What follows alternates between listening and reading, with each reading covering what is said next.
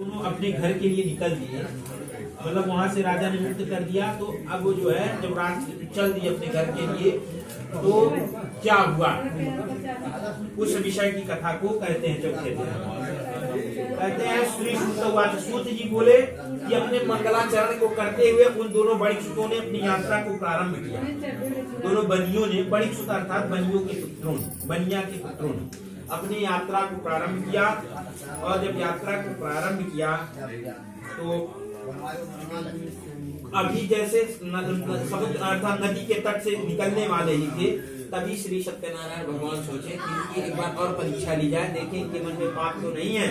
ऐसा सोच कर जिज्ञासा तमाम साधो की मस्ती तमन नए स्थितम, अर्थात नव स्थितम कहा कि ऐसा जो है, वह भगवान जो विष्णु थे उन्होंने दंडी बूढ़े ब्राह्मण का कांपते हुए दंडी का रूप धारण करके आ गए और कहा, मैं इनका परीक्षा लूँगा एक बार और लूँगा कि ये कहीं झूठ तो नहीं बोलते, गलत बात, मिथ्या भाषण तो नहीं करते। दंड दंड पकड़ के वहाँ पर आए और आकर बोला कि तुम्हारे नौका ने क्या रखा है?